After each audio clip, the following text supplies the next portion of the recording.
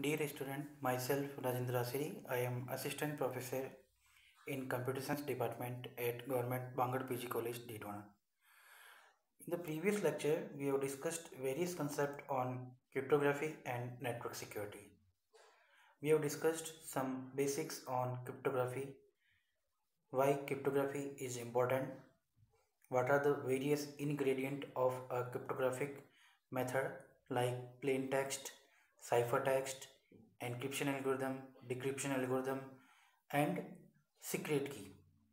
In case of uh, private key cryptography, we require a secret key at both end on sender end as well as receiver end. But in case of public key cryptography, we require two keys, one key for the encryption and one key for the decryption. For the encryption, we are using public key of the receiver. And at the receiver end we are using for the decryption uh, private key of the receiver right? So in this manner we can perform symmetric key and asymmetric key cryptographic techniques. Now after that we have discussed modular arithmetic. In modular arithmetic everything is done under a mod. Like suppose i'm doing modulus 3 it means the values of output will be possible from 0 to uh, less than 3 less than 3 means 2 0 to 2 0 1 and 2 why 3 cannot be? Because 3 mod 3 is equal to 0 right? So in general we can say if we are doing mod n it means the possible values are 0 to n minus 1 right? So in modular arithmetic there are various type of uh, theorems are there. Euler theorem is there and Fermat's theorem is there, prime number concepts are there, uh, Euclidean algorithm is there to calculate the GCD of two number. Uh, in order to uh, prove that two numbers are co-prime to each other, then we need to calculate GCD of both the number and it should come 1. GCD of two number, if GCD of two number is 1, then both the number are co-prime. Clear?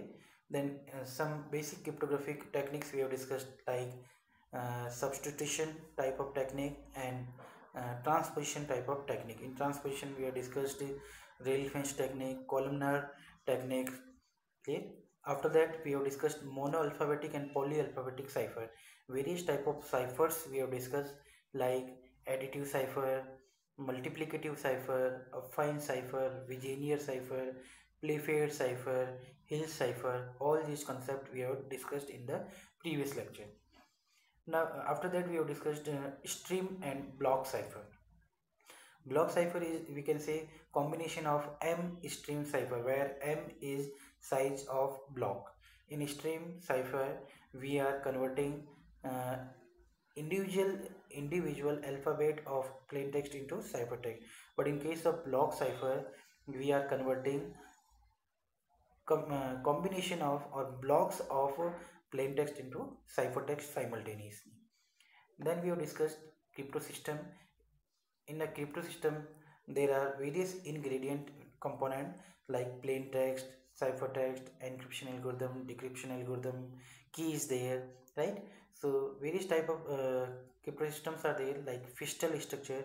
In Feistel structure, uh, there is round functions. Round function is there. Um, key size, is standard and we are using block cipher concept. Then DES uh, data encryption standard uh, it, it encrypt, uh, encompasses the concept of Feistel structure. Then triple DES triple DES as the name implies it com it com comprises three DES first we are doing encryption then we are doing what? Uh, decryption and then we are doing again encryption. That's why it is called as what? Triple DES and after that authentication. In authentication there are various type of uh, concept available. First is kerberos and second is x.505 certificate method. Clear? So in today's lecture we will be uh, understanding the concept of digital signatures right? So what is dig digital signature? So in real life suppose uh, i am principal of any college and if I want to authenticate a document that it is a legal document then i'm just doing the signature manual signature clear? So now that document is authenticate authenticate has the proper authentication clear? Proper integrity is there right? At the receiver end if anyone wants wants to check this verify then the stored signature and the signed signature will be matched. If both are same then it, we can say that it is a legal document right? So similarly in case of digital signature digital manner suppose uh, i have a pdf document and if i want to authenticate it or i want to ensure the integrity of this document then i have to digitally sign this particular document right? So any receiver who are having the public key of the sender clear? It first thing that uh, with which key it can it will be authenticate it will be it will be um, signed with the private key of the sender clear? And anyone any receiver who are having the public key of the sender can decrypt it can see the digital signature that verify it is verifiable right? So for the non-repudiation type of attack clear. Suppose uh, one sender is sending some message to the receiver.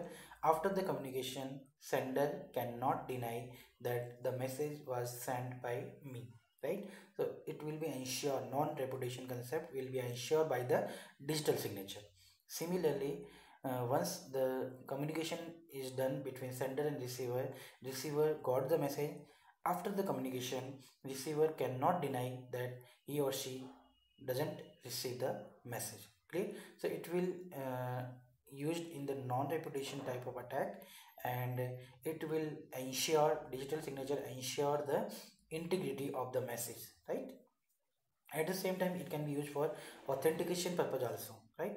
So uh, how to implement the digital signature it is a question coming in your mind uh, to all of you. So um, for implementing the digital signature there are uh, two popular methods.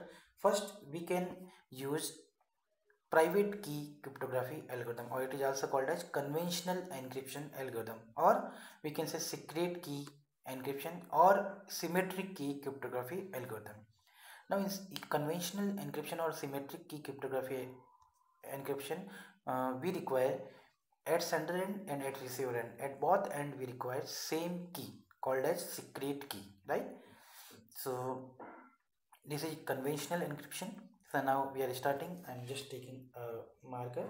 Now see suppose i am having a message m clear?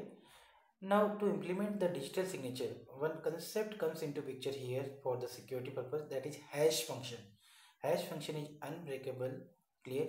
It is not a two-way it is just one way clear? Mm, if a hash function is very proper and strong then it is a one way means if uh, you know the message from the message hash function can be generated. But if you know the hash function uh, from hash function uh, getting the message is very very tough.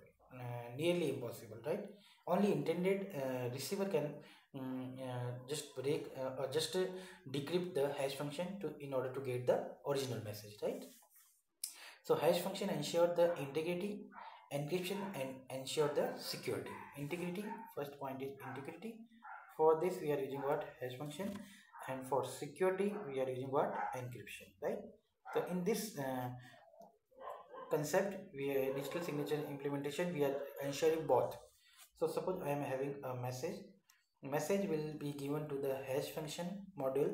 So hash function will be applied and it will generate a code that is called as hash code or we can say mac message authentication code. We can say this mac also right now on this hash code we are applying encryption. If we were not implementing digital signature then we are directly just encrypting the message right? In the previous cases just ensuring the security. But here we need to ensure the integrity also. That message is not modified. So message apply hash function hash code will be generated. Now this hash code and key both will be used as input for the encryption algorithm and it will generate a new code. Clear? Hashed message. Encrypted hash message. This encrypted hash message will be added to the original message. Now here our ultimate target is not um, the security of the message. Our target is to ensure that message is not modified. Message can be seen by anyone but it should not be modified by anyone right? So document proper document message there and with the message we have applied hash encrypted hash code right? Encryption encrypted hash code plus message message plus encrypted hash code. Message plus encrypted hash code we are using and we are sending where? It for the communication. This is this part right?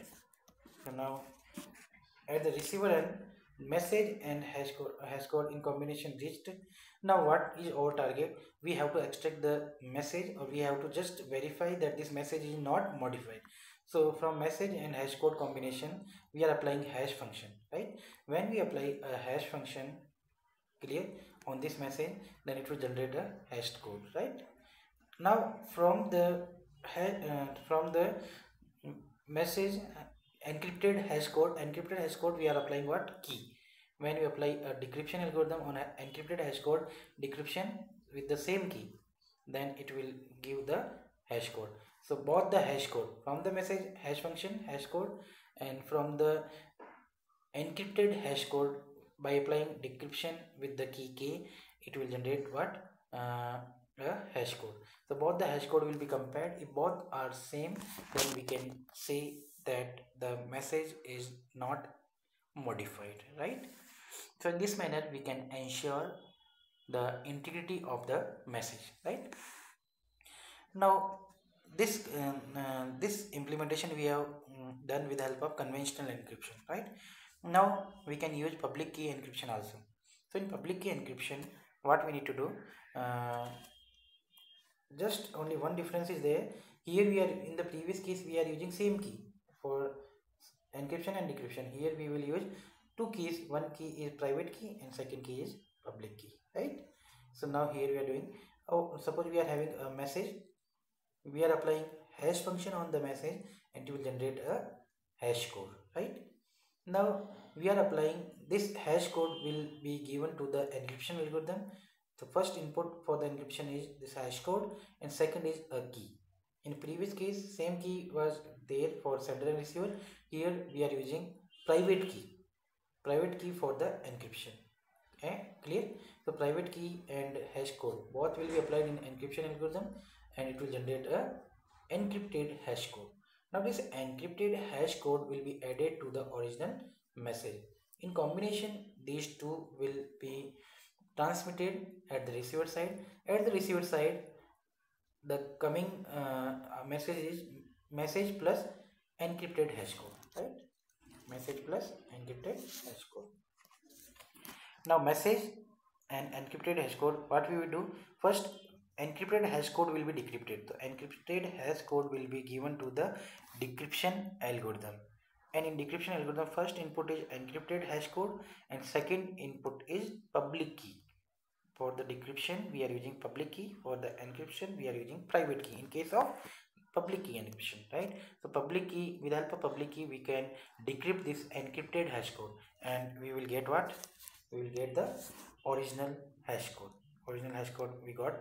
Now first point is uh, original hash code we got. Now from the message also we will apply what? Hash function. When we apply a hash function on the message it will generate a hash code of the message this hash code of the message and the decrypted hash code. Both will be compared and both if both will be same then we can ensure or we can easily say that the message is not modified right? So digital signature is easily uh, easily used for ensuring the integrity of the message. And it can be done in two ways using conventional encryption algorithm and second method using private key or we can say public and private key encryption right? So the main purpose of digital signature is just to ensure ensure the integrity of the message that in communication message is not modified. So what we are doing we are just using a hash function. With hash function we are generating a hash uh, encrypted hash code and this encrypted hash code will be attached with the original message. At the receiver end we, from the message we are generating again hash code and from the encrypted hash code we are decrypting this. Clear? In case of conventional for encryption decryption same key secret key. So at the receiver we are comparing both from the original message by applying hash code hash function hash code will be generated and by applying decryption algorithm uh, on the message plus hash code combination we are again getting what? Hash function uh, hash code. Both hash code will be compared. If both are same then we can say that the integrity is not compromised. S same thing can be done with the help of public key encryption. Only difference is that for the encryption we are using private key and for the decryption we are using public key so in this manner uh, integrity or digital signature can be implemented. In the next lecture we will be learning some new concept in the cryptography and network security. That's all from this particular lecture. Thank you